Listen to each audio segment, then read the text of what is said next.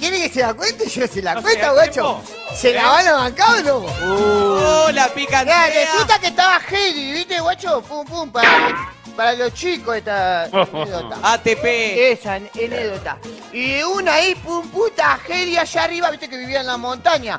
Había hecho pijama party con un amiguito. Ah, mirá vos. Y de repente estaban ahí, estaban ahí, ahí, charlando.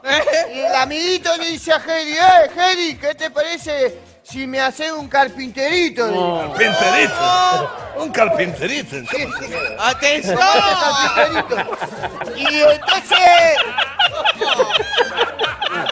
¡No! entonces pará, no está. Maquinea. Y, y estaba ahí, y el Heidi decía que sí, que no, que sí, que no. Bueno, y viste que Heidi tenía una amiga llamada Clarita. Clarita. Estaba en la silla de ruedas. Ya, por. Entonces si estamos solos, Por favor, te lo pido. Ay, ay, ay, Se está oscureciendo. No, no. Y no dice, eh, guacho, dice, eh, guacho, ¿qué onda? Dice, tu abuelo no vino o viene más tarde. Dice, vamos a, vamos a carpintería, le dice, ¿no?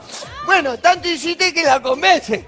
Y entonces arranca, y eh, arranca con el carpinterito. Ya. Por favor, te lo pido. ¡El carpinterito! Carpinterito. La ¿Cómo hace centenial. pájaro, gato? Claro. Ah, carpinterito. Y entonces ahí agarra y de repente, bueno, estaba ahí y de repente Heidi, mientras carpinteriaba, miró por la ventana porque controlaba que no venga el abuelo. Claro. Y entonces agarra, mira y la ve que venía subiendo la amiga de la montaña. Clarita. Y le dice, uh, guacho, dice, ahí viene subiendo Clarita. Quédate tranquila que ahora viene más espesa. ¡No!